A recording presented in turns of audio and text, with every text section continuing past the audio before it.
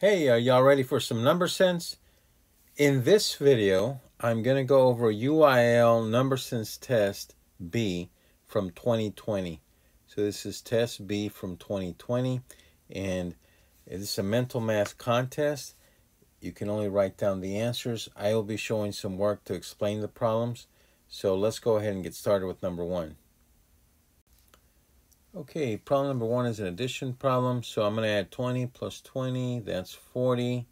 And then I'm going to add 7 plus 4 is 11, carry a 1. So I'm going to have 21 plus 31, that's 52. And here I'm going to have, I'm going to look at the last two digits, 20 minus 20, that's 0, 0. And then I'm going to have 4 minus 7, that's going to be 14 minus 7, that's going to be 7. And then I'm going to have 30 minus 20 since I borrowed 130 minus 20 is 10. So I have 10,700. Number 3. 3's cancel out. When you have 3 divided by 3 in the numerator, those cancel. The 8 goes on top, so I have 8 over 14. Do not write 8 over 14. You have to reduce that. That's 4 over 7.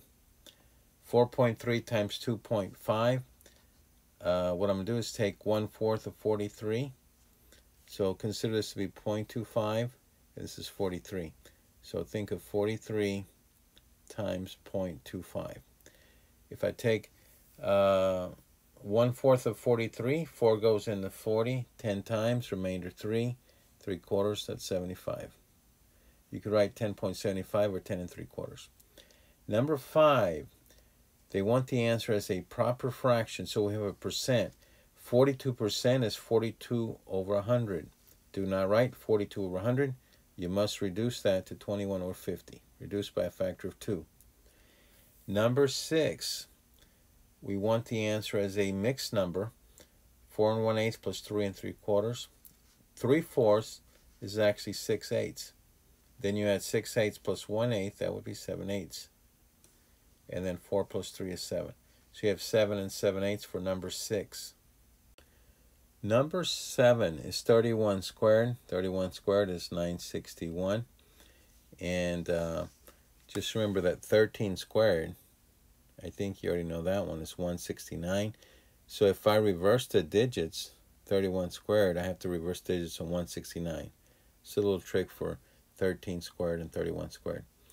Um, also, if you're squaring something like 31 and you don't know how to square or you didn't memorize that, then you could work it out. So what I'm going to do is I'm going to subtract 1 from 30 now, add 1 to 31, so make that a 32. But then I have to add, uh, let me see, where's my pen? Pen disappeared. So 30 times 32, but I have to add 1 squared because the difference was 1. So when you do that, instead of writing a 0, you write the 1, and then you do 3 times 32 gives you the 96. And I see also we can do that on number 13. Normally I would not skip down, but I see there's another number squared here. so you can add 1 to 49, make that a 50. Subtract 1 from 49 and make that a 48 plus 1 squared. So, so what I'm going to have is I'm going to have a 0. Instead of 0, I'm going to write 1 for the 1 squared. And then I'm going to do 5 times 48, which is the same as 10 times 24, 240. And maybe you already memorized it. The answer is 2401. Okay, the next problem is number 8. 4 plus 5 times, a this is a negative 1 and this is a negative 1. So you're going to have negative 1 divided by negative 1, that's a positive 1. 5 times a positive 1 is just 5, positive 5, plus 4 is 9. Number 9, which is larger, 3 eighths or 0.38? 3 eighths is 0.375. 3 8 is like 380, so yeah, 0.38 is larger. So just write 0.38. Number 10 is an approximation. And so what I'm going to do here is I'm going to say, okay, I have 48, 80, 80, 50. so, and then I'm going to do 16 plus 17 plus 18 plus 19. So you can do 18 times 4, 7,200. Now, some student, this is an approximation, by the way. Students will add digit by digit. You could add the hundreds and then add the thousands. Um, this is an approximation. This is a speed test.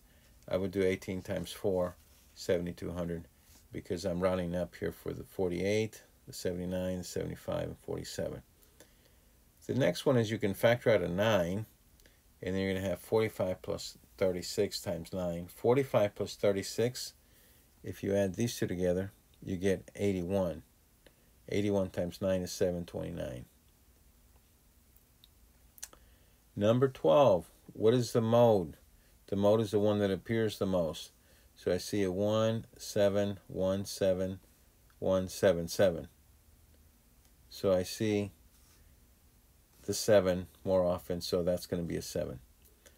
Uh, 49 squared, I erased it, so we can come back and do it again.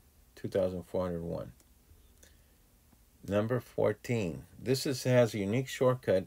You see where these two are off by 2, and you have the numerator is the same as this number 13 and 13 for the numerator. So then if this is off by 2, you subtract 2 here. 13 minus 2 is 11. And the difference of 13 over 15 is 2 squared. And that would be 2 and then you square it. That would be 4 over 15. So uh, let me do another example for that one. So for number 14, where you have 13 times 13 over 15, you could have a problem like 10 times 10 over 13. Now it's off by 3, so 3 squared would be 9, 9 over 13. And you have to subtract 3 from 10, so that would be 7. 7 and 9 thirteenths would be the answer for that one. Okay, for number 15, we're getting to the bottom of this. Number 15, 13 and 26, and then that's 2, and then 13 is 0, 13 and 5. 13 and 52 is 4. So that's going to be 2000, 2004 for number 15. Number 16, 1892 times 8 plus 64. So the 1892 is actually um, 1892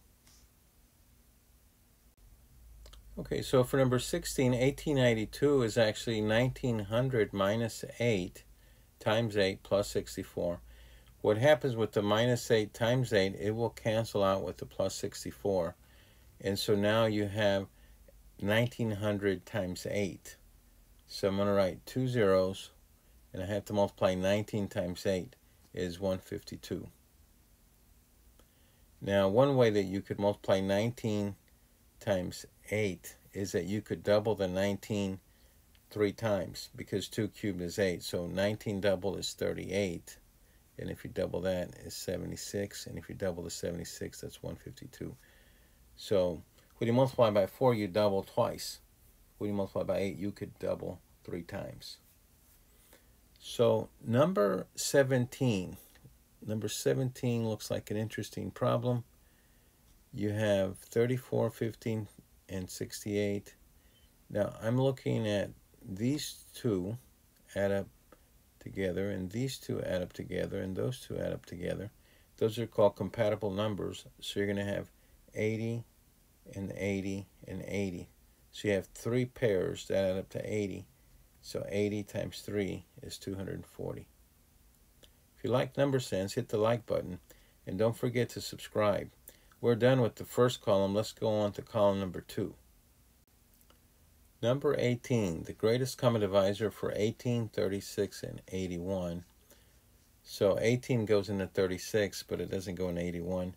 81 is 9 times 9. They all have a common factor of 9. So your answer here would be 9. 3 and a half is the square root of what? But they want the answer as a decimal. So Three and a half is 3.5, and that has to be squared. So 3.5 times 3.5, you're going to have 25, and then you're going to have uh, 3 times 4, that would be 12. Looks like my marker is not working. So for number 19, the answer is 12.25 when you take 3.5 times 3.5. Number 20, 314 times 207 as an approximation. So you can make this uh, a 320 here and you can make this a 200. So subtract 7 here and add about 6 there. So now I have 320 times 200. So I have three zeros. And 32 times 2 is 64. And so when you're doing approximations, it's good to be able to know how to round off, round up, and round down so you can get a pretty good answer. And that's 64,000 is right down the middle in that range, plus or minus 5%. Okay, that's the first 20. Let's go through the bonus problems, and we can do the next four as bonus problems for today. And maybe we'll change to a different color. We'll go to red now. So 1 minus 2 is negative 1. Absolute value is positive 1. 3 minus 5 is negative 2. Absolute value is 2. So you have 1 minus 1 minus 2 minus 8. Well, this 1 and that minus 1 will cancel out. So you have a minus 2 minus 8 would be a minus 10 or negative 10. 33% of 2.6 repeating. Uh, 2.6 repeating is 2 and 2 thirds, so which is 8 over 3. Multiply 33 times 8 over 3, and you're going to have 11 times 8 is 88 over 100, or 0.88. Remember, percent means per hundred, so I have to divide by 100. 0.88. Two-thirds of a gallon is how many cubic inches? well, you need to know that one gallon is 231 cubic inches. So I'll just write here for your notes. One gallon is 231 cubic inches. And 231 is 3 times 7 times 11. So those are the factors. 3 times 7 is 21. 21 times 11 is 231. So it's very helpful to know two, that 3, 7, 11. So many times you're going to have the denominator here will cancel with one of those three. In this case, we cancel out the 3. So now we have 7 times 11 is 77 times 2. And the answer here is 154. The slope of a line in standard form is negative a over b. So negative 4 over 5. So your formula here is going to be negative a over b for in, in standard form. So negative 4 over 5. and that's going to be number 24. So today you got four bonus problems. And if you have any questions, leave questions in the comments. And uh, let me know what you think. If you like this video, hit the like button. And uh, if you want to get notifications, hit the bell next to the subscribe button. And that's going to be it for today. We will see you in the next video.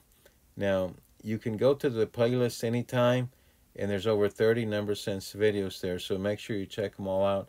There's a lot of valuable information there. And if you see any problems in any tests that you're taking, let me know, and I'll see if I can make a video for you or answer your questions.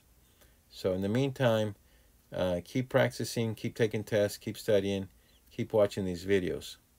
Thanks and see you in the next video.